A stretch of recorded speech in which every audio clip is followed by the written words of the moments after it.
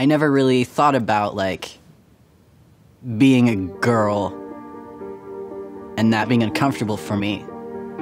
It's when I started getting older, people started forcing things upon me. Like not being allowed to wear masculine clothing to public events. Didn't want me to make them ashamed. For me, when it came to like gender expression, I didn't understand it until I started like cosplaying.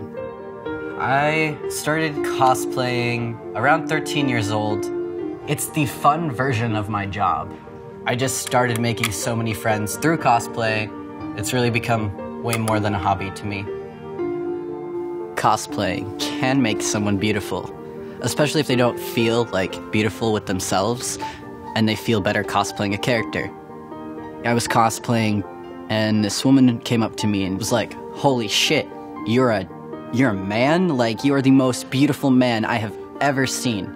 And that was the compliment I was looking for. And I never knew it. That was the first time I ever was in a place where I was being called he. And I realized that I was no longer comfortable having to live as a girl. There's so many unique people in this world. You can't just categorize you're a man and you're a woman, and that's it. And you can't expect people to be completely comfortable with that.